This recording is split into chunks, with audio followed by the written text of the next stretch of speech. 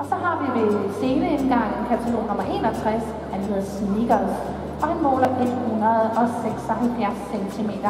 Han er efter Elite Hengsten Blue Horse Sang. Blue Horse Sang, som blev nummer 3 i 4 års dressurchampionat i 2008, og som har et dansk dressurindeks på 140.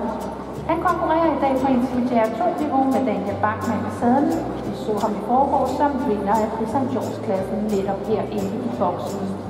Og Blue Horse Sang har været udnævnt som årets hest i dansk varmblod.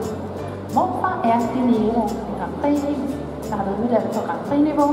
Han har aflagt en 100 dages og han opnået 145,41 point. Han har en tysk dressurindeks på 134. Han far til 204 S-dressurheste og 76 kårede sønner. Og Snickers, som ser, er født i Hans Rode, Tyskland, registreret hos Blue Horse APS 我。